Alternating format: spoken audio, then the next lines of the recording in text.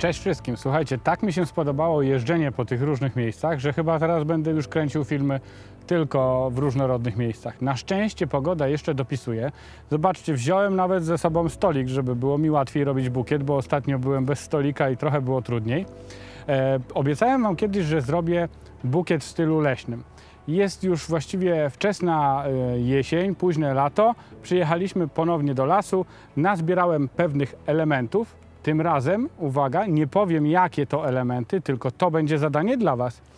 E, Proszę Was, abyście wymienili, jakich ja roślin tutaj używam podczas robienia tego bukietu. Będzie to dla mnie bardzo trudne, kiedy będę robił bukiet i nie będę mógł powiedzieć, co to za roślina. E, Liczę koniecznie na Was. Dajcie znać e, w komentarzu, czy znacie te rośliny i wpiszcie ich nazwy. I nie zapomnijcie oczywiście zasubskrybować kanału, bo to daje nam ogromnego kopa i możemy tworzyć dla Was kolejne filmy. Zaczynam pracę nad tym bukietem. Bukiet, jak powiedziałem, w stylu leśnym, czyli tego, co tak naprawdę znalazłem tutaj niedaleko ko koło tego mm, stawku. E, Zaczynam od dużych roślin. Przyjrzyjcie się koniecznie uważnie, jaka piękna struktura tej rośliny. Mogę Wam tu podpowiedzieć, że zobaczcie, jakie ma tu kolanka. To jest roślina, która rośnie na takim bagnistym terenie. E, Jaki ma piękny, e, piękną strukturę sama w sobie, mm, jest naprawdę cudowna. Jak przyjrzycie się tym małym elementom tutaj, e, tym kolankom w środku jest taka ciemniejsza i na zewnątrz super delikatna. I faktycznie jest dość delikatna, więc trzeba z nią uważać. Dlatego przygotowałem sobie takie rośliny już lekko wysuszone, które rosły nieopodal, też na takim bardziej podmokłym terenie i będę z nich zrobił taki bardziej stelaż, żeby przytrzymać troszeczkę tą e, delikatną roślinę.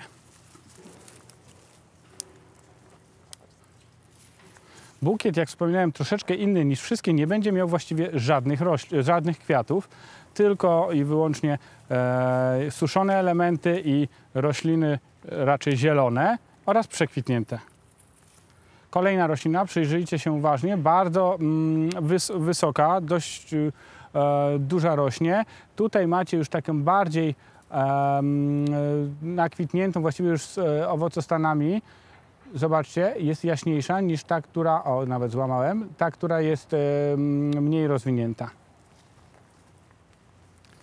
One będą stanowić mi tutaj takie nawiązanie do tej głównej rośliny, e, ale troszeczkę w, inny, w innej strukturze i innej formie.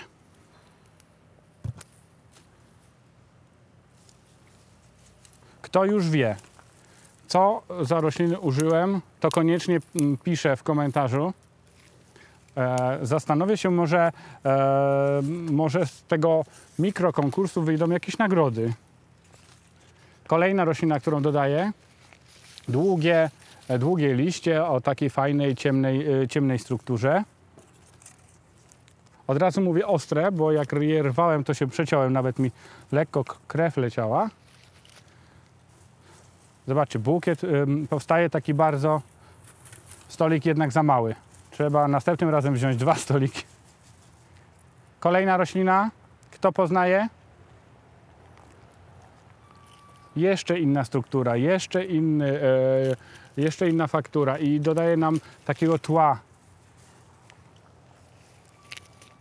I kolejną, którą dodaję, zobaczcie, już z takimi jesiennymi oznakami, trochę przebarwiona, ale znowu bardzo drobna. Zobaczcie, jak dobieram te rośliny, są i większe i, e, liście, i mniejsze liście.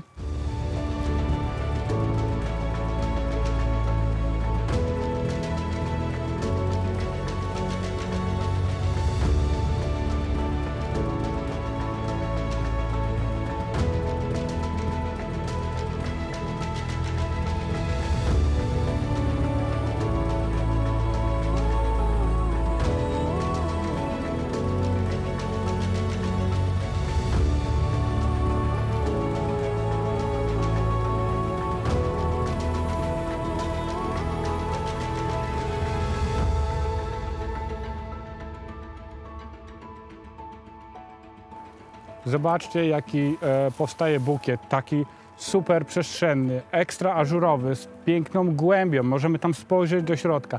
Jeśli go weźmiemy i nawet by było pod słońce, to możemy właściwie przez niego patrzeć. O takie bukiety ja najbardziej lubię, gdzie mamy powietrze, e, dużo przestrzeni, a możliwe mm, jest to e, tylko i wyłącznie dlatego, możemy taki zbudować, bo użyliśmy odpowiednich, odpowiednich roślin. Te suszone elementy dodają nam pięknego koloru, e, takiego stalowego wśród tej zieleni. Jeszcze tutaj dodam e, tą główną roślinę, o którą już Was pytałem, jak się nazywa.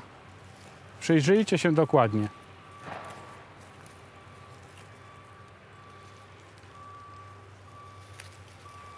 One fantastycznie, fantastycznie e, tutaj tworzą e, całą tą formę. Słuchajcie, już prawie skończyłem, ale mam jeszcze jedną roślinę. Postanowiłem Wam troszeczkę utrudnić. Spójrzcie na nią. E, W jej nazwie jest słowo błotna, może tak podpowiem. E, Normalnie ma, e, jak kwitnie, ma takie białe kwiaty. Mm, Oczywiście mm, rośnie w, takich podmokłych terenach. I tak naprawdę jak kwitnie, to całe takie pola białych kwiatów są czasami przy rowach i to jest właśnie ta roślina. Dajcie znać koniecznie, jak ona się nazywa. Dokładam ją tylko do tego, żeby troszeczkę mi zabudowała ten cały bukiet i dała, zobaczcie, jaka piękna struktura.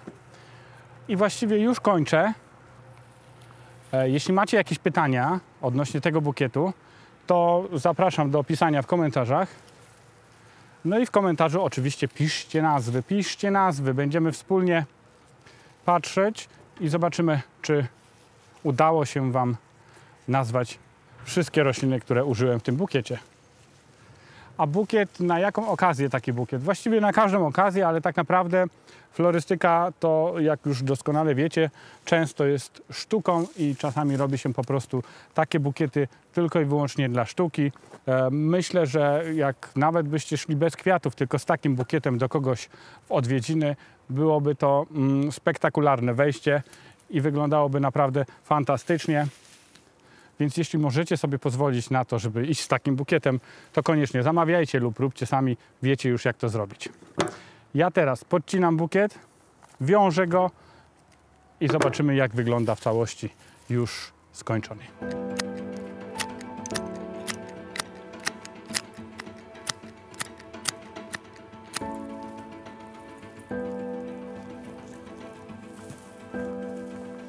Bukiet już gotowy. Mam nadzieję, że rozpoznaliście wszystkie rośliny. E, Mnie się bardzo podoba, lubię takie bukiety, ale chciałbym Wam też e, zaproponować taką zabawę. Jesteśmy w okolicach Bochni. Ja ten bukiet zaraz tutaj zostawię. Jeśli ktoś go znajdzie, a, a jest e, obserwatorem moim, to koniecznie zróbcie zdjęcie i wrzućcie do mnie na profil. Zapraszam na kolejny film.